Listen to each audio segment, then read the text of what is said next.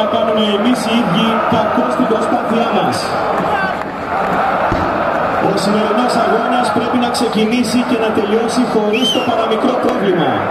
Εσείς και μόνο εσείς είστε αυτοί που μπορείτε να